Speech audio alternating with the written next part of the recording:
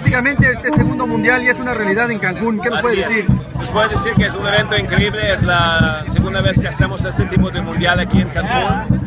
Y pues como verán es muy bonito, tenemos un grupo de mujeres preciosas que compiten por primera vez en la historia oficialmente, tenemos más de 60 eh, participantes de todo el mundo, entonces va a ser una carrera muy fuerte, es increíble.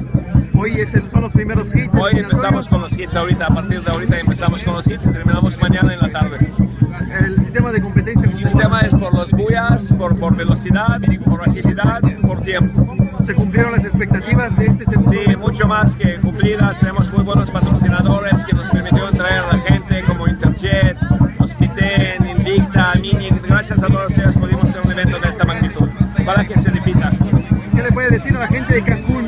Pues que vengan, somos la única escuela de Cancún eh, de jet surf en el mundo. Entonces aquí estamos, vengan, aprovechen, toman la clase, prueben esta maravillosa tabla. ¿Otro, eve- otro evento de este tipo?